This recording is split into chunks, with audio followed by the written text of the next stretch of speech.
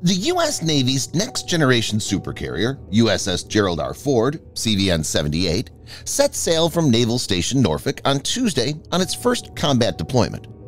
Following a two-month deployment in the U.S. 2nd and 6th Fleet areas of operation in fall 2022, this marks Gerald R. Ford's second deployment and its first with a combat focus.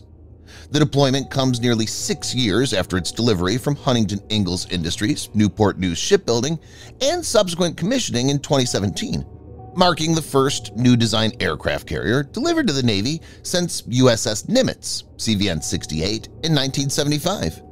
It's also the first aircraft carrier to join the fleet since USS George H.W. Bush CVN-77 delivered in 2009.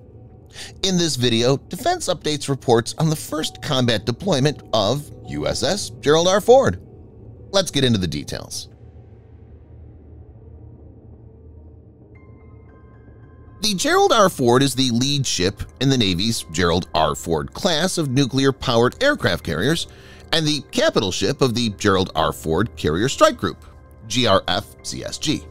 The strike group comprises over 6,000 sailors Carrier Air Wing CVW-8, Destroyer Squadron Desron-2, the Ticonderoga-class guided missile cruiser USS Normandy CG-60, and the Information Warfare Commander.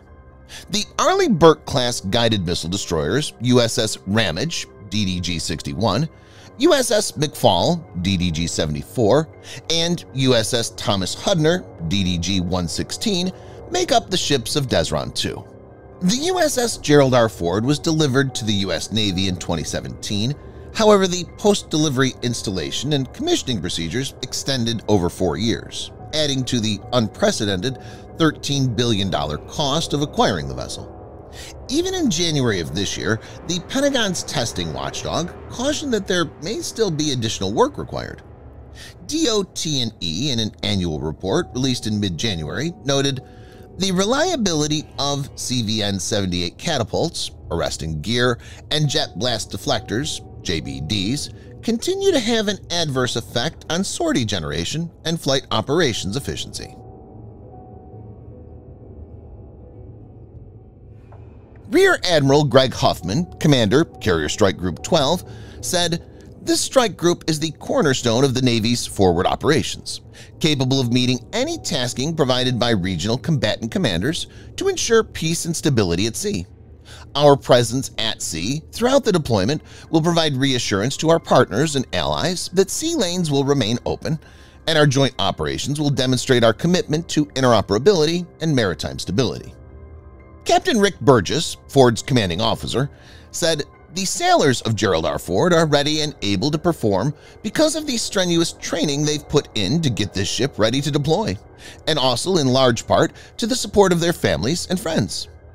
This ship and crew are actively reshaping the face of our Navy's capabilities and strengthening the future of our naval aviation.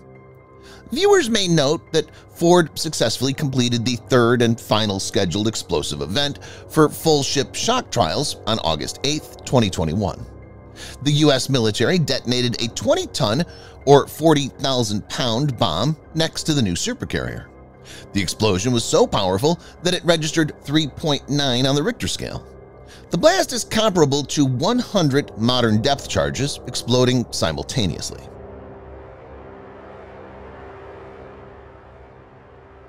Ford-class supercarriers are being built to replace some of the United States Navy's existing Nimitz-class carriers since the Nimitz design has now reached its threshold. Being the first ship of the class, the success of Gerald R. Ford is critical. It brings in completely new technologies, such as large-scale automation, new reactors, electromagnetic aircraft launch systems, advanced arresting gear, advanced weapons elevators, and new sensors. The carrier, on April 2nd, wrapped up its required Composite Training Unit exercise, or COMPTUEX, in which it worked to integrate Carrier Strike Group elements as a cohesive force, according to the Navy. The exercise also marked the first time the carrier embarked a full carrier air wing. Rear Admiral Greg Huffman, commander of Carrier Strike Group 12, said in a Navy news release, COMPTUEX served as a doctorate-level test of the strike group's ability to operate collectively across the spectrum of warfare areas while incorporating the first-in-class Gerald R. Ford into the strike group.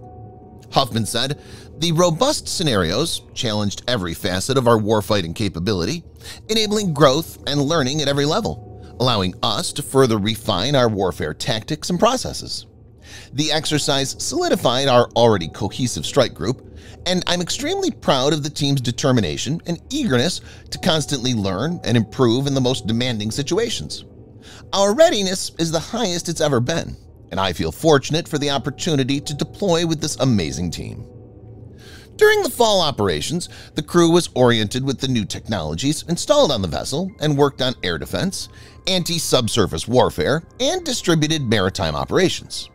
The COMPTUEX exercise facilitated the carrier crew to experiment with fresh methods to utilize some of the new technology on the Ford, such as the dual-band radar system that was customized for the ship.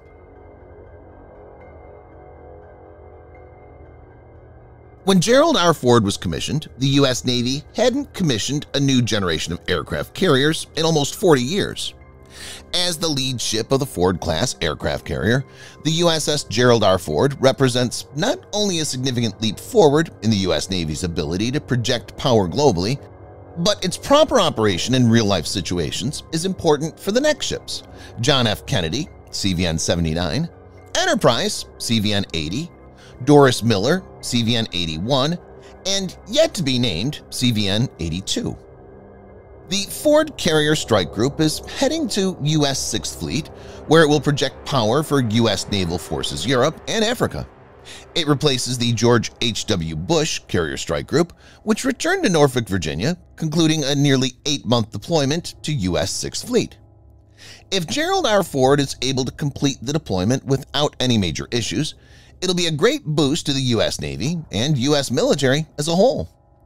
Also, it's important to note the warship is en route to Europe, a region currently grappling with its most significant security crisis in recent years due to Russia's involvement in the Ukrainian conflict. Subscribe for more videos like this. Hit the like button if you find the video interesting, and kindly provide your feedback in the comment section. This will help us improve.